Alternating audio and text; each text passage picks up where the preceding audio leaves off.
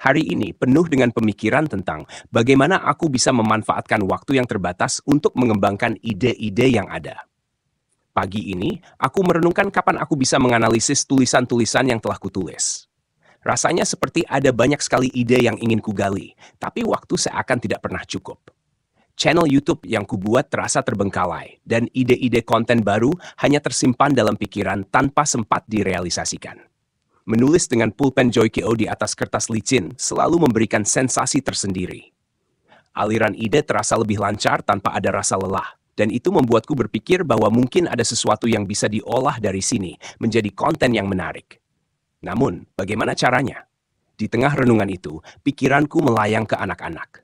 Anak sulungku selalu penuh inisiatif, sementara anak keduaku semakin mandiri, bahkan mampu menahan sakit perutnya sendiri. Mereka tak lagi bergantung padaku seperti dulu, dan sebagai seorang ibu, ada kebanggaan tersendiri yang kurasakan.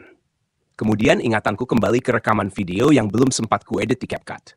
Rencana awalnya adalah untuk membuat transkrip dan mengubahnya menjadi slide presentasi. Namun, waktu terasa begitu terbatas. Aku pun berpikir, apakah AI atau ChatGPT bisa membantuku mentranskrip video YouTube tersebut? Mungkin aku bisa meminta abang untuk merekam intro dengan kalimat seperti, Aku hari ini akan membacakan jurnal harian seseorang. Atau, aku hari ini akan membacakan jurnal pembelajaran tesis seseorang.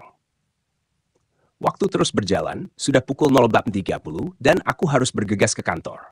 Saat menghadapi pekerjaan yang serius dan rumit, kadang aku memilih untuk melihatnya dari sudut pandang yang berbeda. Dengan trik sederhana ini, masalah yang tampaknya besar sering kali bisa terselesaikan dengan lebih cepat. Aku juga teringat bahwa aku perlu menambahkan sitasi dalam tesis. Di sela-sela pikiranku, muncul ide untuk bereksperimen dengan CapCut template yang sudah aku buat. Aku ingin mencoba menggabungkan analisa jurnal dengan konten Korea yang sudah aku split menjadi 1,8 detik. Semakin banyak video yang kuunggah, aku yakin bisa merekam dan menganalisisnya kembali. Aku merasa lebih nyaman menggunakan bahasa Indonesia untuk konten videoku. Bahasa kita bukan hanya alat komunikasi, tetapi juga sarana untuk mengembangkan ide-ide yang selama ini hanya tersimpan dalam benak. Hari ini adalah bukti bahwa meski waktu terasa tidak pernah cukup, ide-ideku selalu menemukan cara untuk terus hidup dan berkembang.